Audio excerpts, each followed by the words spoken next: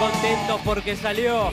Se viene la devolución del jurado ahora Sí, en ¿sabes un qué? minuto nada más. Festejaron no, al final. no, y aparte yo lo escuchaba y digo, todos los futboleros se les debe poner la piel de gallina con esto. Y me preguntaba, ¿qué recuerdos tenés vos, Alex, de tu papá? ¿No siendo Ah, no, chico, con de- tu viejo jugando? Yo no soy tan viejo. No, bueno, pero eras chiquito. No, Yo soy un pibe. Pero no Pero te viste acordás. los videos de esa época, sí. Ah, Eh, alguno. ah. ¿Seguís ¿Y mal con tu papá? ¿No te Igual no soy muy futbolero, así No. que ¿Seguís mal con tu papá? de mi vida privada decidí eh, no hablar, dejarlo ahí. ¿Y a partir de cuándo? Porque en algún momento hablaste y después dijiste no hablo más. Sí, bueno, eso. Se me dio y bueno, dije no hablo. ¿Tiene que ver con esto?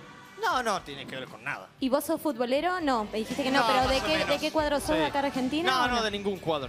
¿Y, y tampoco sos bueno jugando al fútbol? O? Sí, soy un crack, la rompo. ¿Ah, sí? ¿La rompés también en el fútbol? Soy- Pero- Ah, le quería preguntar a Alex también. ¿Qué, qué pasa con los cronistas, con los noteros que no querés hablar, que te vas corriendo? Ah, no, es que yo no, no hago eh, notas con programas barat. Entonces. ¿entendés? Es como. ¿Programas qué? Yo, yo soy. Los programas barat. Barat. Es como. Ah. ¿Te parece yo poca solo cosa? con los programas pija acá. Acá estoy, Los VIP. acá.